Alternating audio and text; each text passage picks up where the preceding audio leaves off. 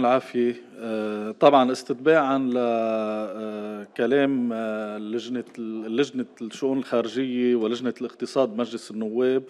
نحن بدنا نضوي آه، شوي على الاجتماع اللي صار اليوم مع دولة الرئيس. مما لا شك فيه إنه الملحقين الاقتصاديين مجموعة من الشباب والشابات اللي استثمرت فيهم الدولة اللبنانية استثمر فيهم القطاع الخاص خلال فترة تقريبا ثلاث سنين اليوم من التدريب وتطوير العلاقات بالخارج والخبرة كلها اللي اكتسبوها اللي هي قيمة مضافة للاقتصاد اللبناني قيمة مضافة للصناعة اللبنانية قيمة مضافة للزراعة اللبنانية وقيمة مضافة للبنان.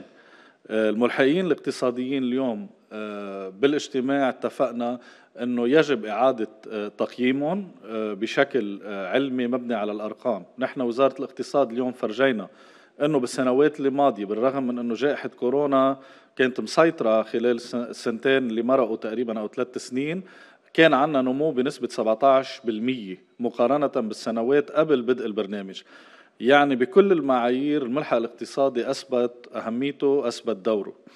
آه، بعض الأمور اللي تطرقنا لها أيضا آه، أنه يصير اجتماع أيضا بين وزارة الاقتصاد ووزارة الخارجية آه، لدرس إمكانية آه، دمج الملحقين الاقتصاديين بوزارة الاقتصاد بالتنسيق الكامل مع آه، وزارة الخارجية آه، لسبب إنه معظم الإدارات التي تتعلق بالمعارض المؤتمرات الخارجية إدارة الاستيراد والتصدير مديرية الملكية الفكرية مديرية العلاقات الدولية اللي موجودة بوزارة الاقتصاد هي صلب عمل هالملحقين.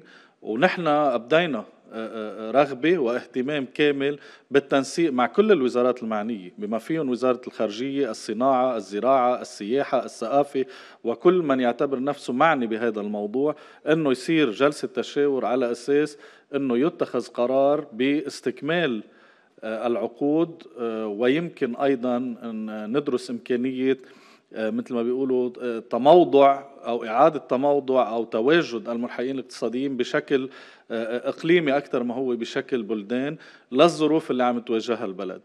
من ناحية التمويل أيضا بده يصير شغل كتير كبير مع الهيئات الاقتصادية وغرف التجارة لندرس إمكانية الشغل مع بعض نحن لندعم مهمة الملحق الاقتصادي وندعم يعني بقاء الملحق الاقتصادي لما له من أهمية للاقتصاد اللبناني.